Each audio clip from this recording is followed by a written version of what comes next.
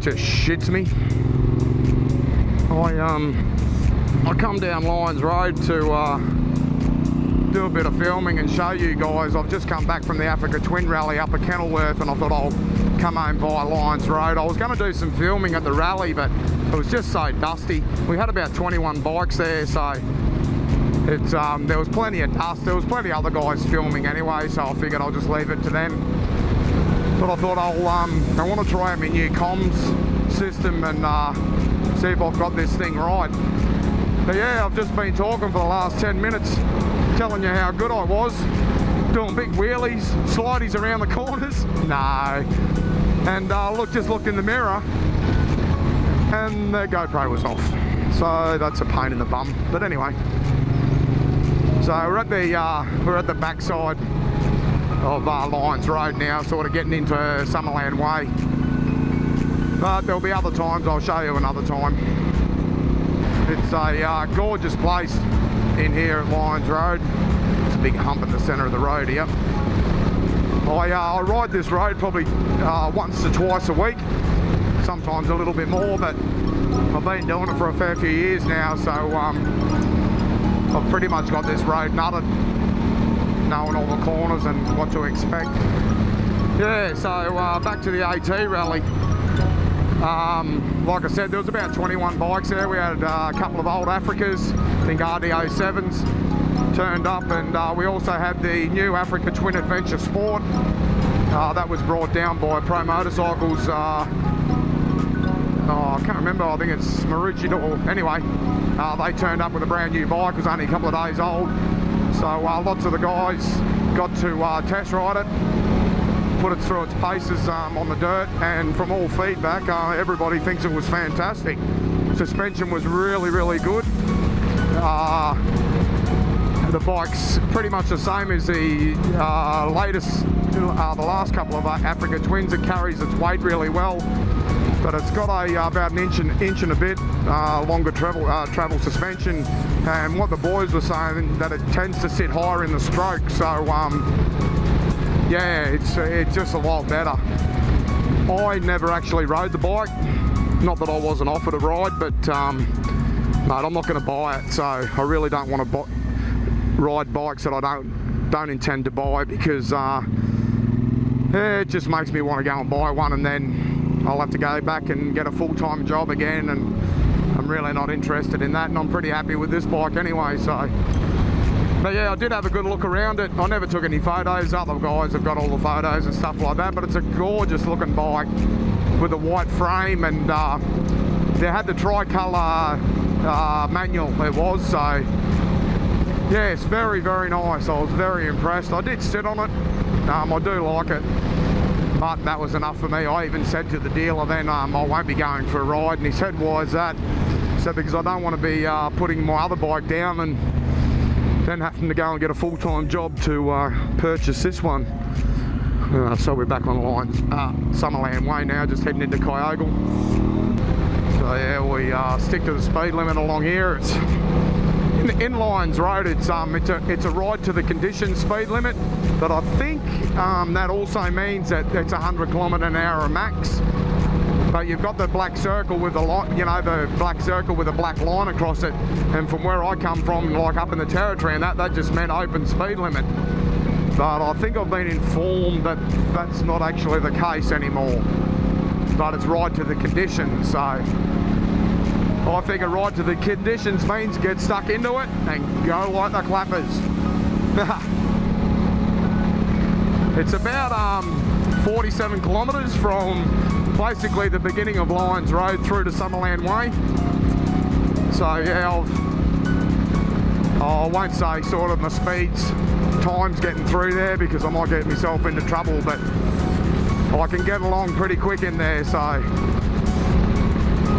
if anyone's up to uh, post up a fantastic time that they've done through Lions Road, let me know and I'll let you know if I've beat you or not.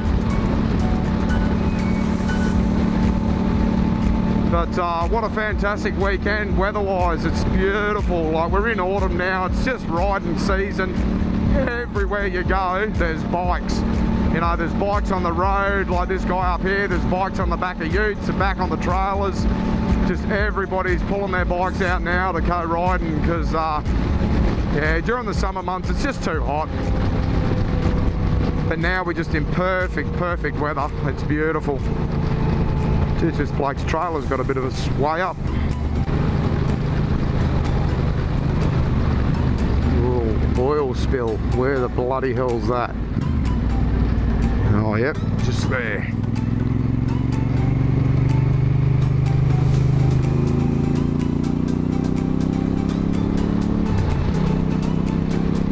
Probably not a real good thing having an oil spill on this road because it's uh, pretty popular with the bike riders.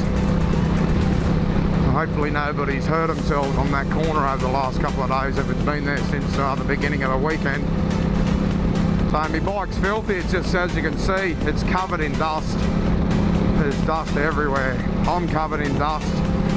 So that's what happens when you get uh, into a big organised rides, you know. Hadn't had any rain up there for a long time. And uh, yeah, so it's very dusty. No wind, so it just settles and hangs in the air. Alright, let's come into Dyraaba.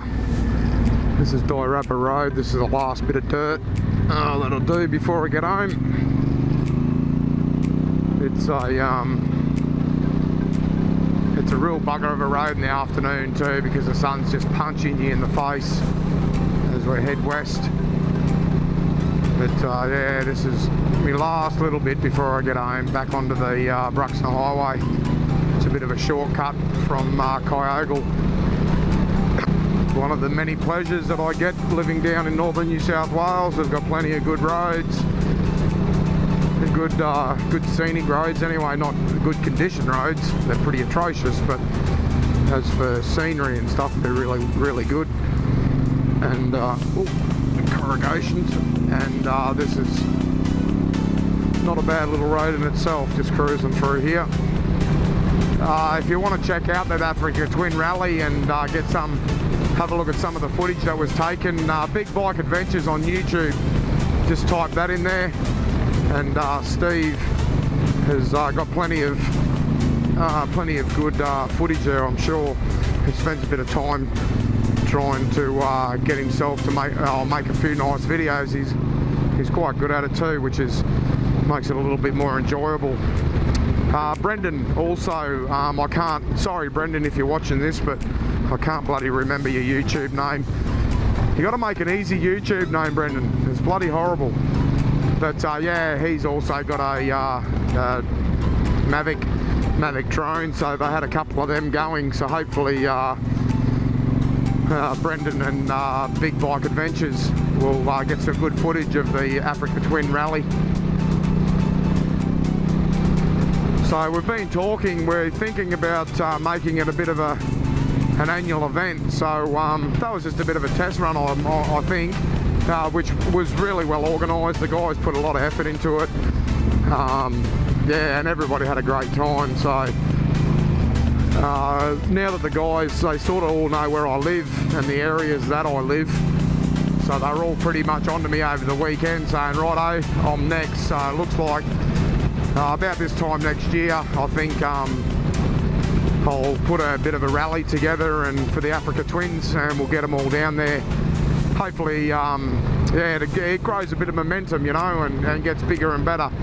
Not that we're trying to copy the BMW Cruise or the KTM thing, but it's just a um, bunch of like-minded people getting together with their bikes, you know, that are all similar or same, and uh, it's really good because you get to look at everybody's different setups and you can see what works you know like there's a lot of things that I'd like to buy that I've seen on the net and um, but you really don't know what it's going to be like until it sort of turns up in the mail. Well this is a really good chance to uh, have a look at all the different stuff that's out and available because between most of the blokes have pretty much covered all the uh, aftermarket parts so yeah, it was quite good to um, to have a look at the, everybody's different setups and what what would work, what doesn't work.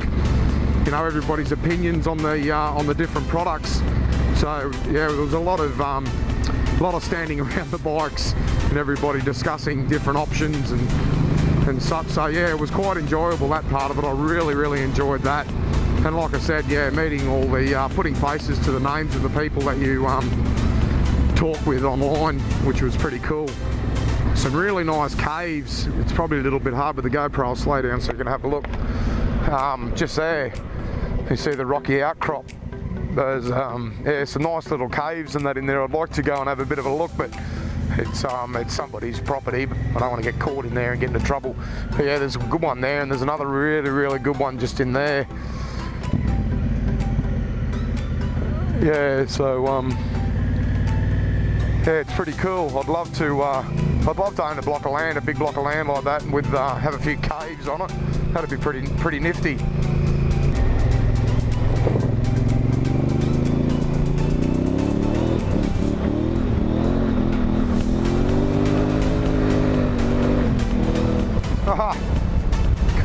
The thing to line up.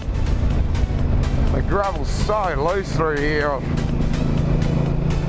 Yeah, about 95 horsepower on these bikes. It doesn't take much to get that rear wheel to um, light up.